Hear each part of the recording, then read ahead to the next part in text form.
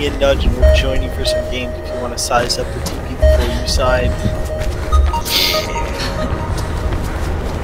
I want to see Uh, you. add on T1 or get the fuck out. I, I'm just gonna add in. Uh, no, you know, I don't have to, because if they don't have T1 lasers and Tier 2 nanos, we could bring them in, have them do Tier 1 lasers, which everyone has, because you start with it, until they have enough tech points. And then they will just follow. I mean, not everyone will get Holy the Tier 1 thing, though. Like, we've played with people who just didn't get it to the point where we couldn't win games anymore, because we didn't have enough